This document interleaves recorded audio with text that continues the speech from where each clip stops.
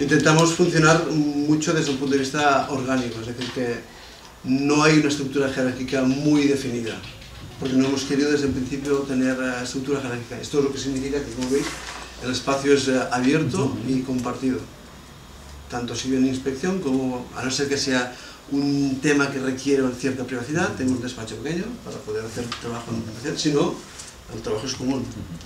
La visión del trabajo en equipo es que nos pesa más y por tanto no puede haber mm, ventanas ni paredes entre medio porque estamos cerrando el trabajo en equipo. La comunicación ha de ser fluida.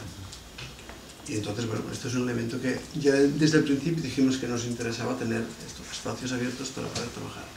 Para que también los alumnos lo vivan en primera persona. La, la sala de profesores no está cerrada a nadie. Así que intentamos vigilar, es decir, que no sea un paseo.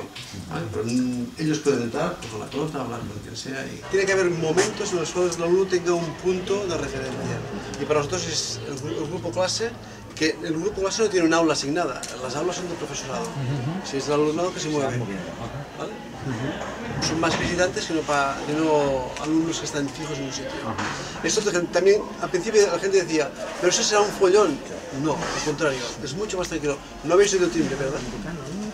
No hay timbre de cambio de clase. Ni para el patio, ni para entrar, ni para salir. Y todo el mundo va a tiempo.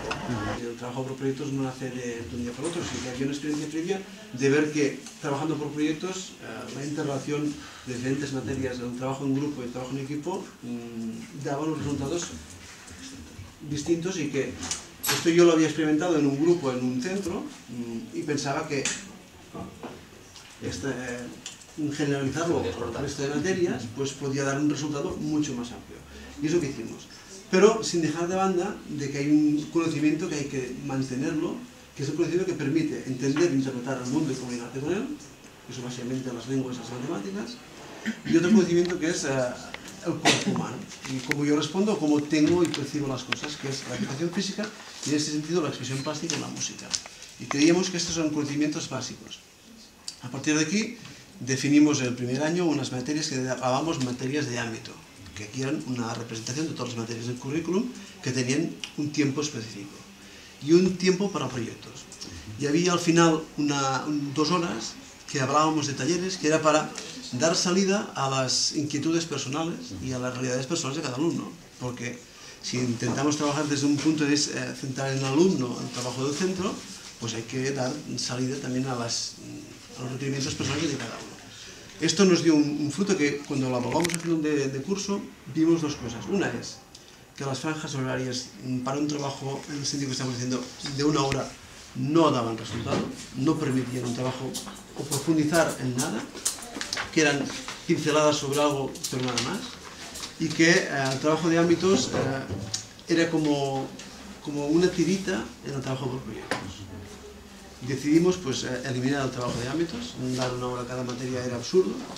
Decidimos eh, implementar más el trabajo por proyectos y aumentar la cantidad de horas que asignamos al trabajo por proyectos porque si quitábamos los ámbitos había que dar reflejo a las materias en el trabajo transversal y eh, dimos un cuerpo diferente a las materias de habilidades, manteniendo la idea de que debe ser un saber elemental, que es el saber que queremos que todos los alumnos no pierdan. Y aquí es el trabajo memorístico, el trabajo sistemático, el trabajo regular, sobre una serie de elementos que les van a ayudar a entender y eh, comunicarse.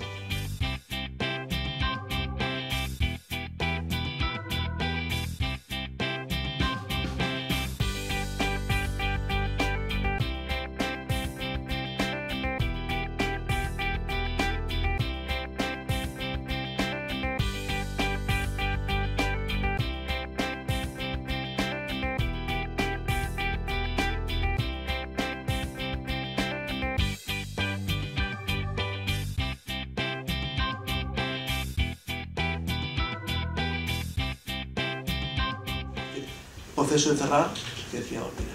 Y esto lo hacemos semanalmente. Este proceso se hace semanalmente. Cada alumno empieza una semana y la cierra.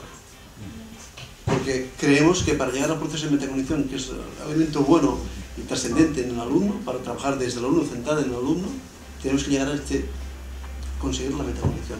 Y se llega trabajando y desarrollando el espíritu de, vigilarse para adentro, de crítico, de mirar para adentro, pero comunicarlo. Tenemos uno de los elementos que nos, que nos definen ya también desde el principio, es que trabajamos en los ámbitos del yo y los otros. Y siempre intentamos ir del yo a los otros y los otros al yo. Y este proceso de reflexión busca esto. Me miro a mí y comunico, y contrasto con los otros. Y esto lo hacemos en grupos pequeños de unos 14, 15 alumnos. Porque para poder trabajar esto necesitas grupos reducidos.